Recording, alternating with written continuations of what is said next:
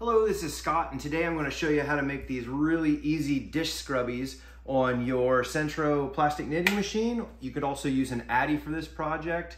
Very simple project. All you need is some regular size four yarn or three or whatever it is you're used to using in your machine, um, and some optional scrubby yarn. Now I'm going to start you off with this. Do not put this scrubby yarn through your machine and you'll see why in a moment. Um, I actually think I messed up my machine a little bit doing that, but I'll tell you, do not put this through your machine. It's not gonna be good for it. We'll start this project off the way we start any project. We'll go ahead and put in, give yourself a little tail like this maybe. We're gonna put in your first needle. I always start with the black just for counting purposes, and you're gonna go back and forth between each of your needles, skipping every other one. I like to leave my yarn nice and loose because I'm going to pull it tight later anyway. Now once you get to the last needle, you can stick it right into this little, Oops, I'm going to go behind that. Put it right in there, and I like to use the second or the third one. It doesn't really matter for this project. And then what you're going to do is just going to go around, I like 18 times. I think that's a good number, so I'm going to go around 18 times. Two, three, four. You hear that click?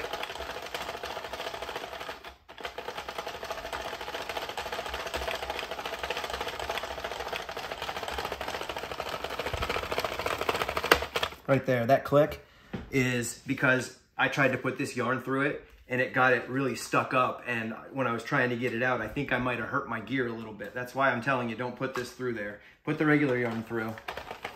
I don't remember what I'm on. I think I'm on like 12 or something. I'll just do a few more here. We'll call that good. Now, so you're gonna leave yourself a nice little tail here and cut it off. I always like to leave a little extra because a couple cents of yarn is better than not having a project finished. Now I gotta find my needle. Oh, there it is.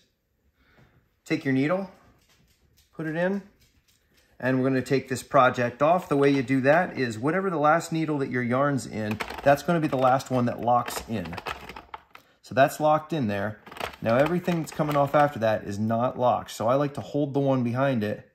Just gonna grab, pull through. And as you get better at this, you'll be able to do three and four in a row. So I'm gonna go ahead and do that now. I'm just gonna do a bunch in a row. I like to hold on the one before it so that it doesn't fall off. And we're actually almost done with this project already.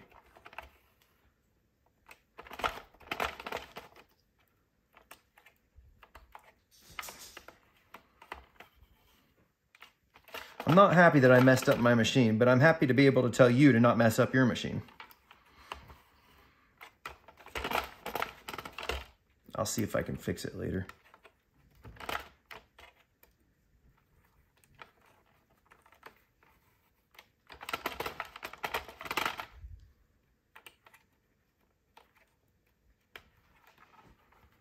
Okay. I think the gear that I messed up is this one somehow. And that last one doesn't want to come off, so I'll just back it up and pull it off manually. No big deal. All right, at this point you are done with your machine. The rest is pretty simple. You've got the bottom and the top here. All you're gonna do is pull the, pull the end you just finished off. Just pull it nice and tight. And then take the bottom and pull it nice and tight. Now it'll curl on you, so that you'll have to pull up like that. Get them both in, and now we're going to take one side I'm going to put it right in the middle of the hole here, push it right out the hole on the other side. So I just went right through the hole, pull it out the other side here, and now I'm going to flatten this thing out.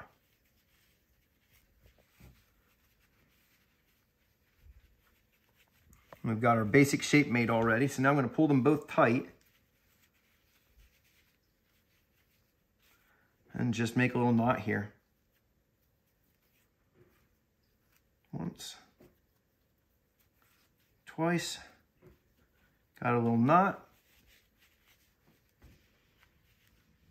Oh, I think I didn't get it caught in the right spot there. I got a little a little bump there. So, but that's okay. This one will be a little scrunchy version of it. So the last part that you got to do here is you're just going to take these, put it through both of them if you can get it through. My needle's kind of small. Well, I suppose yours is too if it's the needle that came with it. You're gonna try to get both of them through there. You can do it one at a time too. I'll just do it one at a time for now. You're gonna go into the middle of this and don't come out the other side. You're gonna go right up to the top, make a little handle. I'll get my other one now and make a little handle.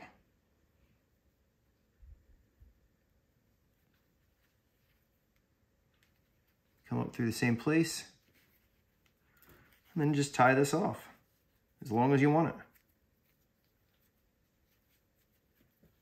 Cut off the excess. And there you go. There's your basic, basic uh, dishwashing cloth or whatever. Now, what I did to make it so that you have the um, the other part here, I'm gonna I'm gonna go ahead and cut this video a little short because I think you know the rest. Um, I just took my scrubby yarn and I just gathered, you know, maybe maybe a foot and a half or so. And I just put that in the needle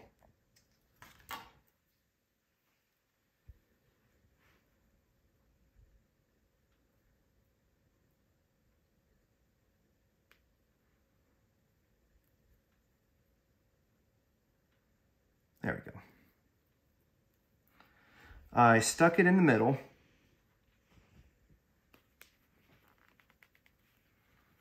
And just tied it off. You'll cut this off later, so don't worry about if the tie is pretty or not. For that matter, you can cut it off now.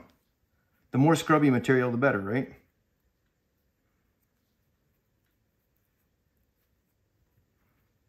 There you go. Just cut that little piece off there. And then just on one side or both sides, if you, I just made one side scrubby and one side not, you, you just go around however you want and just go in, come down in there, back out,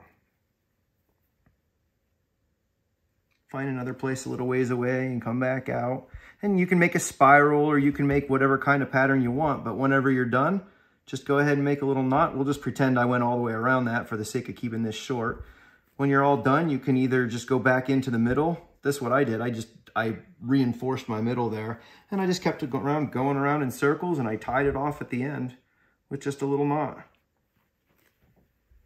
Just go in there, do a little knot and all done. And so if you kept on going in spirals, you'd see what I mean, but it ends up looking like this on one side and then nice and clean on the other side. Or if you want to do it without the scrubby, you can just finish it the way it is and there you go. You got a nice little dish scrubby for next to nothing. So I hope that was helpful. Thanks again. Please subscribe. Please watch my other videos. Have a great day.